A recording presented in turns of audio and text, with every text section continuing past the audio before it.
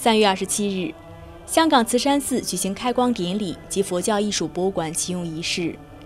慈山寺佛教艺术博物馆是香港唯一一间以佛教艺术为展览主题的博物馆及学术研究基地。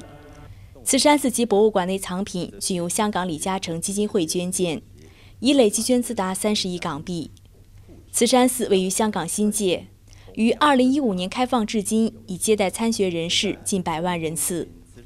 佛教艺术博物馆位于慈山寺内，馆内收藏了各地珍贵的佛教物造物及文物，藏品一部分来自李嘉诚个人向李嘉诚基金会的捐献，另一部分是基金会直接购买的佛教文物，全部放在博物馆做永久存展、做展览教研之用，并让公众免费参观。香港特区行政长官林郑月娥作为主礼嘉宾出席。他认为，匆忙的都市生活里，能抽出时間來到這裡遊覽佛教的珍貴文化，非常難得。慈山寺佛教藝術博物館除咗陳列由唔同時代同埋地域流傳落嚟嘅佛教造像、繪畫、刻經、寫經等佛教藝術嘅珍貴文物瑰寶之外，亦都係將用於舉辦相應嘅文化活動。我相信慈山寺佛教藝術博物館，將讓香港市民以至到遊客喺享受呢個寧靜空間嘅同時，可以一覽佛教藝術之美。慈山寺佛教藝術博物館歷時三年籌建。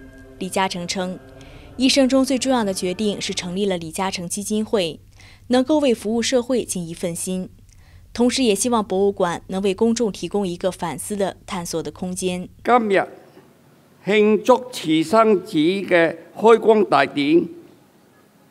及佛教藝術博物館開幕，慶祝我哋大家珍惜嘅人民精神成全。我一生最重要嘅決定係成立基金會，有緣能盡心之所為服務社會。我哋各自要尋求答案。我希望。慈生寺能為反思同埋探求嘅心提供空間。據介紹，慈山寺佛教藝術博物館的土地购置、發展規劃及建設所需資金，以及日後管理費用，均由李嘉誠基金會捐獻。博物館將於二零一九年五月一日起開放給有預約的公眾人士免費參觀。